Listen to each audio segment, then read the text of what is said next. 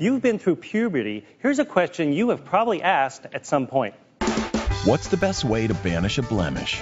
There's lots of effective choices out there for treating those bothersome blemishes. Number one, use a sulfur-based cream or lotion.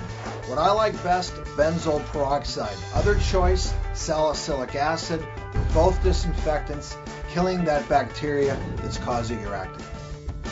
Number two, bentonite clay mask. It's a great disinfectant, but it also has anti-inflammatory properties to get rid of that redness.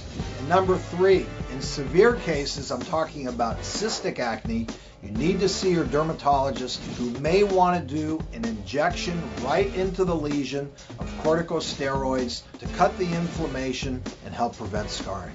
And number four is what we call an IPL intense pulse light or laser treatment. This light is going to penetrate down into the sebaceous glands. It's going to settle that acne, kill the bacteria. It targets that red color, that inflammation. Now that I'm done with the laser, number five, I have a great product, Oxygenetix, that's blended to match her skin tone.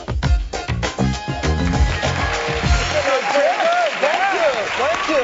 Excellent stuff. You to help me out? Well, I'm just looking at your skin. Your skin looks awesome. I'm okay right now. You must be always following Dr. O's tips, right? I always do.